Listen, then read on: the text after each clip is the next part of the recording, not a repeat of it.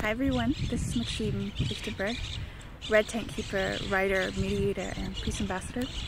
I've been working with Toks for about 10 years and I have really had the privilege to see some incredible shifts in my life and to experience abundance and flow and the removal of stagnancy in various areas of my life.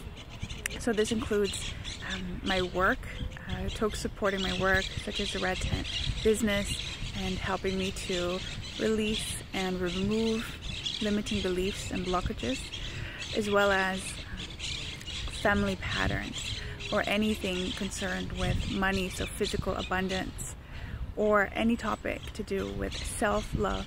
So you can see in 10 years you can do a lot and you can shift your life a lot. I'm a new woman. I'm not the person I used to be. And that is thanks to Toks and the work with Hands of Light. And of course we've been doing this for quite some time. So I've attended the new moons, the full moons, the numerology workshops, as well as the incredible visioning workshops where I'm seeing already things taking shape and physical form, which is absolutely beautiful. I've also had various one-on-one -on -one sessions with Toks and I feel very blessed to have Toks in my life and just working with this energy of now with Hands of Light, with Toks, with her many accreditations and experience and her compassion has really, really saved my life on multiple occasions. So we're out here today in the beautiful sunshine. You can probably hear the birds and I'm shining, I'm stepping up into leadership. I lead a red tent business. I am a writer. I've published my poetry, my writing. I've transformed my relationships, my intimate relationships.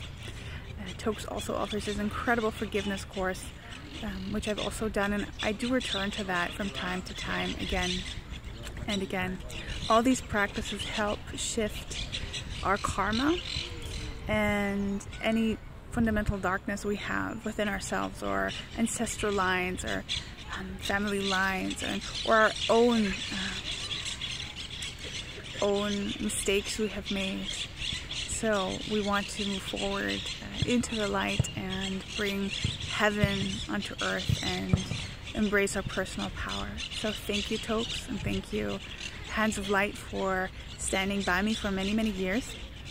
And uh, I'll be I'll be here for many, many years to come. So thank you so much.